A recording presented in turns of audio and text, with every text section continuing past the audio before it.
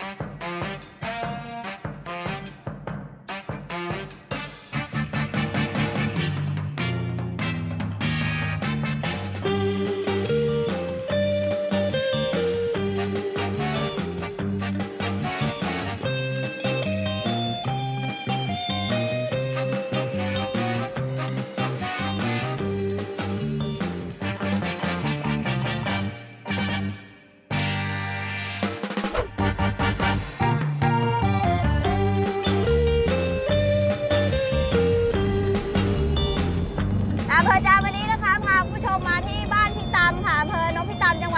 ธรรมราชนะคะ เรากำลัง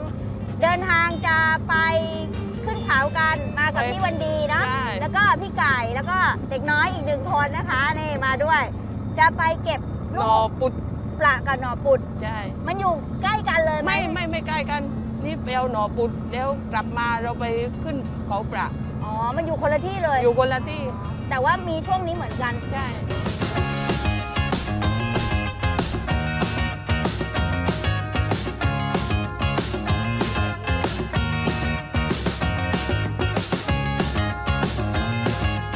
จุดที่เราจะจอดรถไว้นะคะ แล้วก็เดินต่อ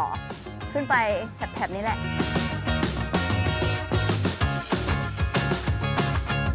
คือเข้ามาเนี่ยนะคะมันจะเป็นเป็นป่าที่ผสมกับสวนยางค่ะ ใช่ แล้วก็อันนี้เจอแล้วนี่โอ้ตั้งโดยอยู่อันเดียวเลยเออมันมันออกต้นใหม่อะเดี๋ยวนะ นี่ก็ใช่อันปะนี้คะใช่แต่ว่านี่แก่แล้ว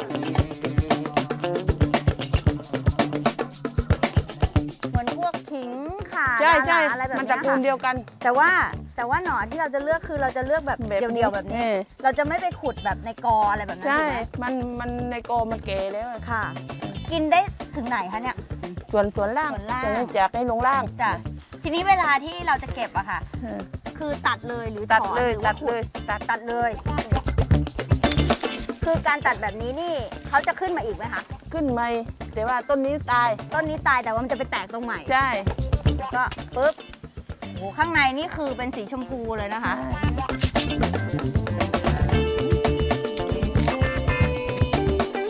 อืมผมกลิ่นแบบคาอ่อนๆเลยเอค่ะอใช่ ด้านในนะคะ พอปอกออกมานี่คือแบบเออเป็นสีชมพูเลยแล้วก็ อันนี้คือส่วนที่ตรงไหนอ่อนคือเรากินได้หมด กินได้หมด เอาอีกไหมเอาจ้ะ ไม่พอเราจะดอเดียวนะจ๊ะ ไปจ้ะ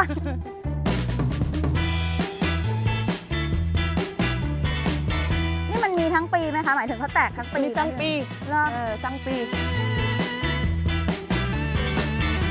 อะเจอแล้วหต้นึ่นงหน่อต้นคันนะ ต้นไหนคันอ๋อต้นนี้ค่ะ มันชื่อต้นอะไรพี่มันดีลังตังลังตังอะไร อันนี้ก็ใช่เหรอโอ้โหโดนหน้าอันนี้นะคะ หน่อปุดที่เราจะตัดอยู่ใกล้กับต้นลังตังใช่ซึ่งมันเป็นตัวคัน มันทำให้เรา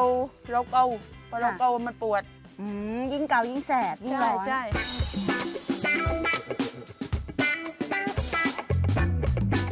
เอาต้นนี้ไหมคะนี่โอ๊ย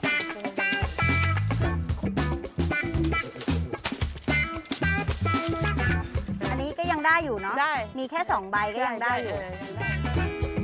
น่อปูดหรือว่าบางที่นะคะ จะเรียกกันว่าปุดใหญ่สากปูดซึ่งเป็นพืชตระกูลเดียวกันกับขิงค่ะ พบได้มากทางภาคใต้ โดยเฉพาะพื้นที่ที่มีความชื้นค่ะหน่อปูดจะมีเง่าอยู่ใต้ดินนะคะ แล้วก็มีรากที่กระจายกันออกไปทำให้เรามักจะเห็นหน่อปูดนั้นขึ้นอยู่กระจายห่างๆกัน ต้นไข่ต้นมันไม่เป็นกลุ่มเป็นกอค่ะ หน่อปูดที่ชาวบ้านเลือกเก็บนั้นจะเป็นหน่อที่ยังอ่อน ก็คือต้นจะเล็กมีปลายยอดแหลม หรือจะมีใบก็จะไม่เกิน 1-2 ใบนะคะ ส่วนหน่อปูดที่แก่แล้วนะคะ จะไม่นิยมนำมารับประทานเพราะว่าค่อนข้างจะแข็งแล้วก็เป็นเสี้ยน โดยจะสังเกตได้จากเง่าที่มีขนาดใหญ่ลำต้นสูง มีใบเยอะ และบางต้นที่แก่มากๆก็จะเริ่มให้ผลด้วยค่ะ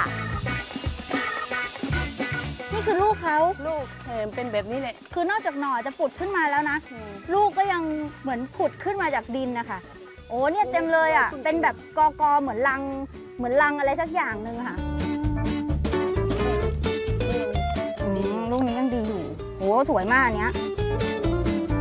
เปลือกเขากรอบนะคะ โอ้เหมือนแก้วมังกรเลย เออมาว่าแก้วมังกรนี่คือพอเห็นชัดๆนะคะ เหมือนแก้วมังกรมากเลยค่ะ แต่ว่าเม็ดเขาจะใหญ่กว่า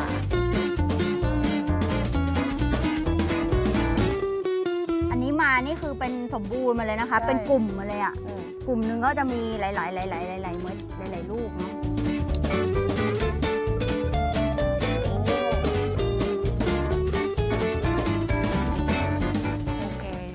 อร่อย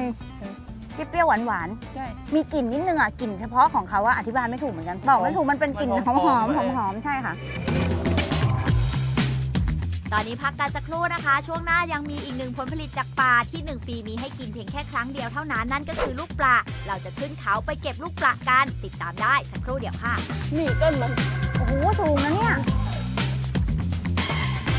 โอ้นี่ข้างบนนี่คือ คนมาเก็บลูกป่ากันเพียบเลยนะคะ เหมือนเทศกาลเก็บลูกป่าเลยอย่าลืมกด subscribe และติดตามรายการตามอำเภอใจารวมไปถึงรายการดีๆ ของทางช่องอมรินทีวี SD ช่อง 34 ด้วยนะคะ Yeah.